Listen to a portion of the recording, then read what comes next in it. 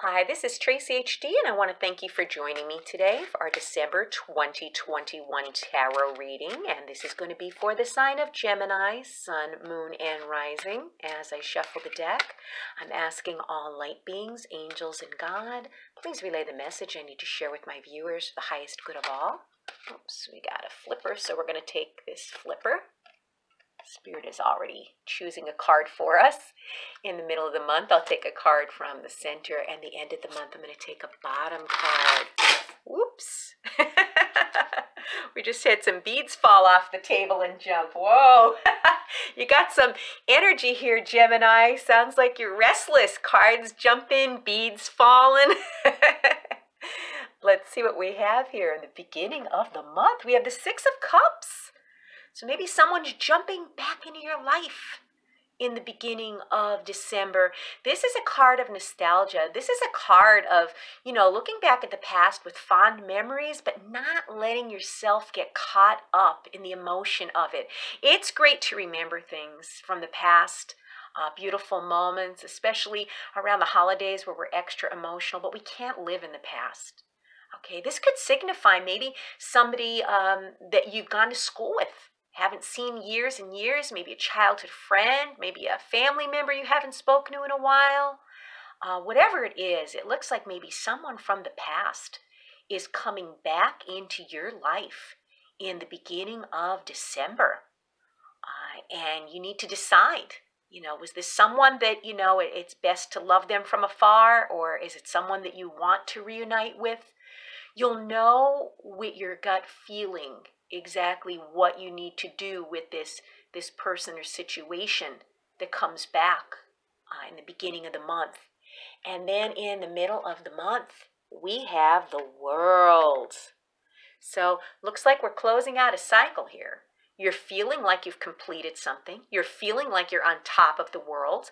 Maybe it was some unfinished business that you had with this person here that came back, that you finally got closure, and now you're able to move on uh, whatever it is, you're, you're feeling content. Okay, the world card is a, a very, very positive aspect for you to have. Uh, it's a card of success and, and victory and triumph that you're feeling in the middle of the month, that you've accomplished some sort of a goal.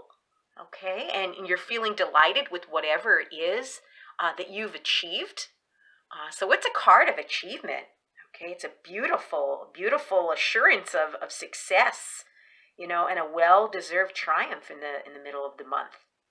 Um, and it doesn't indicate something that was an overnight success. This is something that you've been really working hard towards, Gemini.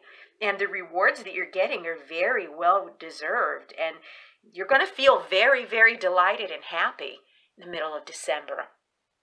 And then at the end of the month, we have the Five of Swords. Okay, now swords are the mental energy we have these people here uh, who are in the background walking away, and this gentleman here is, is holding swords as though he maybe disarmed them and took their swords from them. Uh, looks like he's defending himself and he's, you know, basically standing his ground. Okay, he has this very serious look on his face. And what this card is telling us is there may be some kind of deceit going on at the end of the month. Okay? Um, and you don't want this deceit to upset uh, what you've achieved okay? You you've achieved something. You have triumphed. You have victory in the middle of the month. So don't allow this nonsense here whatever this is at the end of the month. It could be someone with a hidden agenda okay and i always feel being forewarned is forearmed so you'll be aware of you know certain people and you probably already have someone in your mind right now who this could be at the end of the month. It could be, you know, somebody who's being deceitful uh, in your family, could be circle of friends, could be spouse, lover, partner, but someone's not being honest with you in their dealings at the end of the month. Okay, and there could be some underhandedness that is going on at the end of the month. So just be aware. Okay, it may represent something that, you know, is lost in an unfair manner, or perhaps someone leaving suddenly from your life, someone exiting without even giving you an explanation or even the truth. Okay, and they don't care. They're just insensitive. They're just, you know, leaving. But whatever this is, you know, it also indicates maybe someone being selfish and, you know, doing whatever it takes to win at all costs. But, you know, when you do something like that and you shortchange people, you know, it, the victory is very short lived. Okay, so you want to make sure that this is not you, that you're behaving in an ethical manner in all of your undertakings at the end of the month as well. Wow.